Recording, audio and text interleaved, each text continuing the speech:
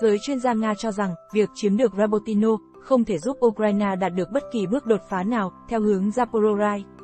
Hồi tuần trước, lực lượng vũ trang Ukraine, AFU, đã tiến được một bước nhỏ về hướng Zaporozhye trên tuyến Orekhovitamek, chen được vào tuyến phòng thủ của lực lượng vũ trang Nga ở khu vực làng Rabotino, Robotai, về phía làng Verbov.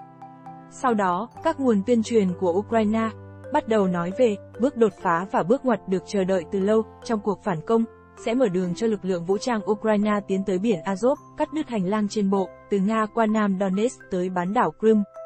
Đáp lại, các nhà phân tích Nga từ kênh Telegram của Vatfor Avituschetny đã chứng minh rằng, việc chiếm được ngôi làng Rabotino không đồng nghĩa với con đường tới biển Azov đã rộng mở đối với Ukraine, chiến thắng nhỏ nhoi này không tạo ra bước đột phá hay bước ngoặt nào cho Ukraine.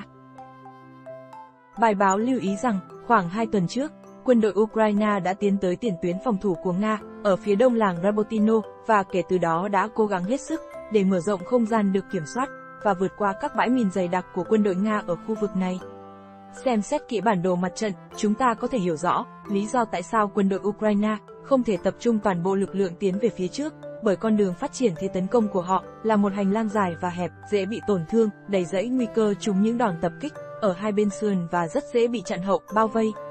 Ngay cả sự xâm nhập ở thời điểm hiện tại cũng đã nguy hiểm đối với quân đội Ukraine, bởi vì họ rất dễ bị bị bao vây trong một cái nồi hầm, và đó là lý do tại sao lực lượng của Kiev đang nỗ lực tấn công mở rộng khu vực kiểm soát xung quanh Rabotino.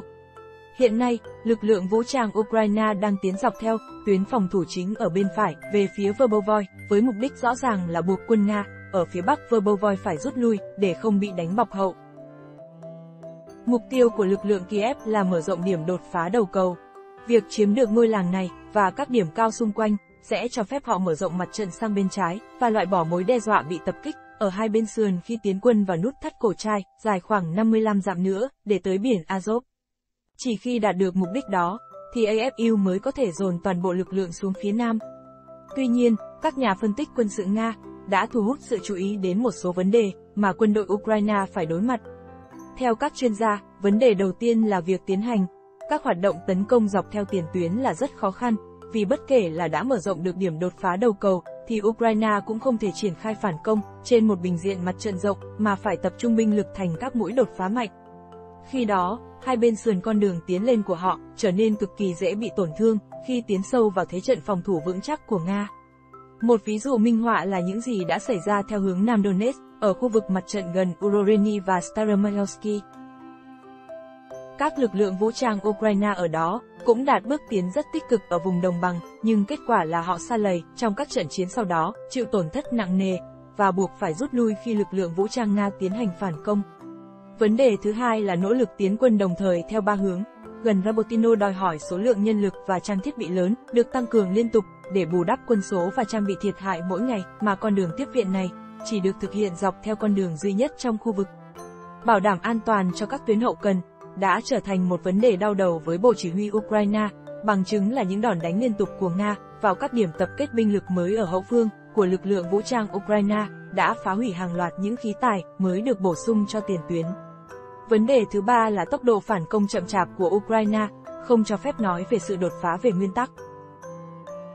Bước tiến đột phá trên mặt trận được coi là chỉ xuất hiện trong một khoảng thời gian ngắn, khi các đơn vị mũi nhọn đột kích nhanh vượt qua các vị trí của đối phương, xuyên thủng thế trận phòng ngự và mở ra một cục diện mới có thể tạo ra tình thế bước ngoặt.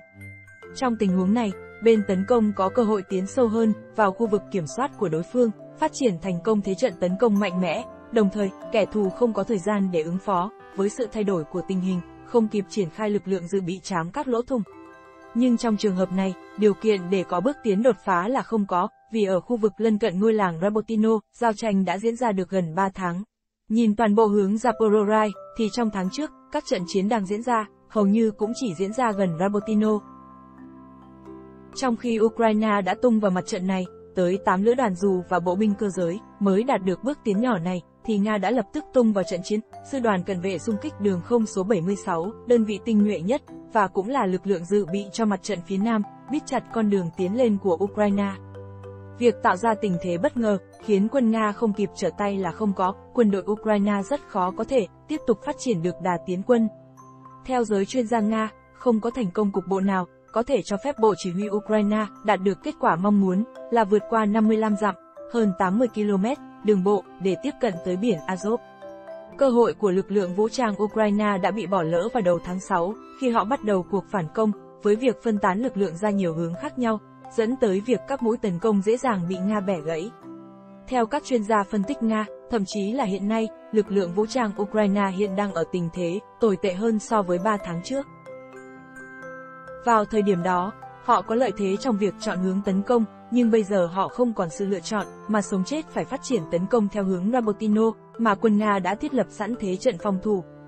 Để phát triển thành công, lực lượng vũ trang Ukraine cần mở rộng bình diện mặt trận, điều đó tương ứng với việc mở rộng quy mô nhóm tiến công và phải rút lực lượng từ các hướng khác của mặt trận và các khu vực khác, điều đó sẽ có lợi cho Nga ở các hướng tấn công khác.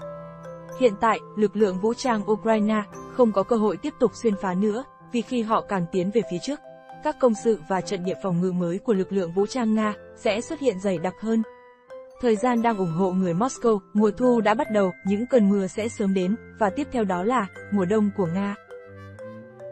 Theo Soha, cảm ơn các bạn đã xem bản tin.